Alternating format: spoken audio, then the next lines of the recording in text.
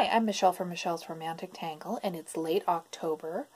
The month has just sped past. I did get the Halloween quilts hung that I talked about in my last video. Those are both patterns that I designed, and they're both free on my blog, so I will put links in the description if any of you are quilters and want to play around with those.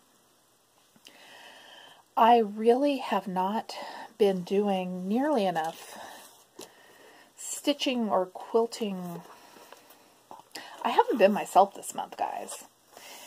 If you look at my project tracker, this is September, and that's pretty typical of what I do. That's October. The box is where we spent a week at my parents' timeshare at the coast, and the rest of it is just... I haven't been picking anything up. I haven't started a new shawl since the last video when I showed you my finished one. I haven't started the Hedgehog SAL or Halloween at Hawk Run Hollow or anything. And it's not, I haven't lost my mojo. There's nothing wrong. I just don't want to. And as long as it doesn't go on for too long, that's fine. I mean, as many hours a day as I usually spend knitting, it is probably a good idea to give my hands a break. I had all of these ambitious plans for Halloween stuff that I wanted to finish, and I had it figured out so I could get a bunch of stuff done, and yeah, that didn't happen. I did get the Grady twins done.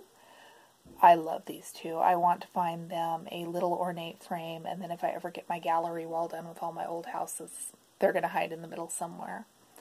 The pattern, the way it was written, did have kind of an outline of the elevator behind them, but as much as I like the girls, I didn't like the elevator. It didn't look realistic, so I left it out, and I can do that. It's my project. I also finished the round skull that I showed you in the last video. This was a really quick, quicker than it looked like it would be. I think I got it done in two or three evenings. That's a free pattern from skulladay.com. I will put the link to it in the description. And then while we were over at the coast, I did this little black cat. Her, it is supposed to be a black cat on white fabric, but I found the gray fabric lurking in my stash and decided that I wanted white letters on a gray cat. And once again, it's my project. I can do that. I do owe my sons an apology after my last video where I was not properly sympathetic of their teenage boy colds. They gave it to me, and it might not have been quite as bad as they said it was, but it wasn't fun. I have not been shopping this for stash at all lately. I do have a couple little additions. If you watch Audrey Stitchy Witch 42 in her most recent video, she talks about the witch's brew floss that she dyed, and I am one of the lucky stitchers she sent some to. I am, I got plans for this. I am just tickled, and it is gorgeous. One of the things that I wanted to cram into this month was the Philomath Artists Open Studio. I don't remember exactly what its formal name is but a bunch of local artists do a studio tour and open their studios to the public. On Sunday, the boys and I drove out there, and I think we made 10 of the 15 stops. It was really fun. If you like watching like sewing room tours and stuff, and there's one of these in your area, go because it's neat to see the spaces that people work in. We talked to a guy who does metal sculptures out of found objects and learned about titanium splash. We learned about pottery, we learned about pastels. The boys were full of questions and the artists were very welcoming and I bought a thing. One of the artists we saw was selling these glazed ceramic pieces and she was selling them as fridge magnets or scarf jewelry, but they're needle minders. I need, there were a couple of other artists who had magnets that I was tempted by, but I wasn't sure if the magnets would be strong enough to hold the needle through it. So I'm going to start, next weekend we go out to see the studios we missed on our first trip, and I'm going to carry a needle in my purse so I can find myself more fun needle minders. The artist who made these is Debbie Lynn Friedlander, and I will post a link to her Facebook page in the description in case you want to look her up. We went to an estate sale, my husband and I. I sort of kind of almost bought a truck if you saw in my Instagram post. And when I was sort of kind of almost buying the truck on Sunday, they had Saturday had been half price, Sunday they were bundling things. And bundling things is a great concept. I love it except when you're shopping with kids who want weird random stuff it gets more difficult because I can take my stack of stuff and say, yes, I'm happy paying eight bucks for this. But I also want to know how much I'm paying for the projection screen and whatever weird stuff they want. I really, for as huge as this estate sale was, I didn't bring home much at all. I think I spent $7 total on my stuff and their stuff. It was a mid century ranch style house on a farm, which is different than a farmhouse. And it had 60 years of accumulation and it just it was one of those estate sales where you are happy that they had the life that they had because it was fun.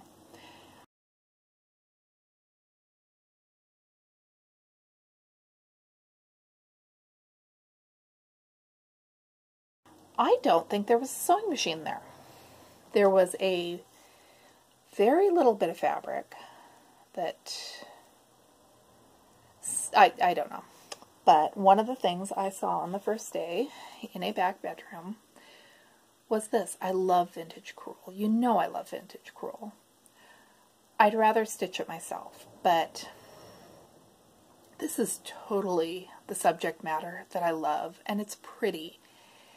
And on Sunday it was, well, half price was $2.50, and then it was whatever they had marked it down to bundle. So I picked it up and I carried it around with me. Out on the enclosed front porch, I found these four frames hooked together with a rubber band with a price $3 for the set. I hadn't seen these on Friday and I hadn't seen these on Saturday. I don't know. Someone must have moved them from somewhere else and set them down. I don't know. These are needlepoint. look at the details. Look at the spider web in that window. I didn't even look at the rest of them. I just bought it because it was less than a dollar fifty for the four.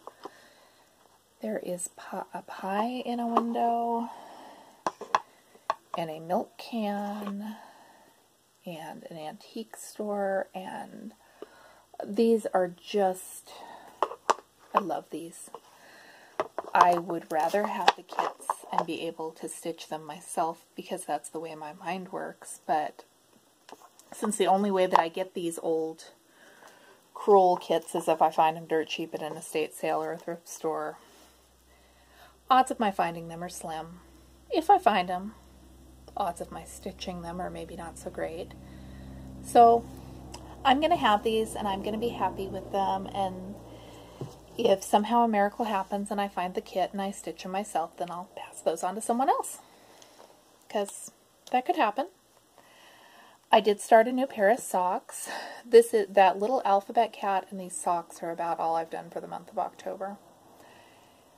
And like I said, there's no explanation, there's no reason. It's just how the month has worked. Amy at Amy DeVille and I are starting a new stitch along on November 15th. I love Dimensions Gold Collection. I have got so many of these kits. And as much as I love them, I'm kind of afraid of them because they're ambitious. There are a lot of, hate the glare, I'm fighting glare this entire video. I love them. And I know that Amy stitches them too, so I got in touch with her and asked what she thought about doing a SAL together. So we are starting the Divine Dimension SAL. We are starting November 15th.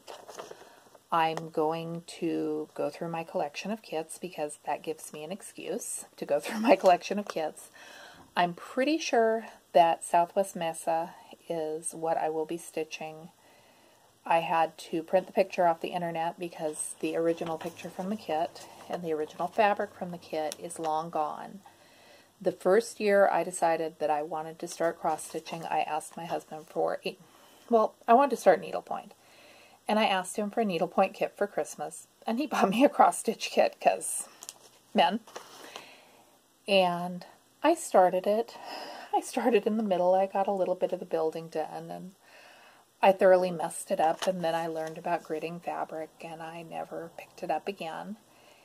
And I found the chart in my stash when I was pulling everything out last winter, and I'm going to stitch it. I want to stitch it. I also have another kit that I found at a thrift store called All Is Calm. I'll insert a picture of that because I don't have the outside packaging.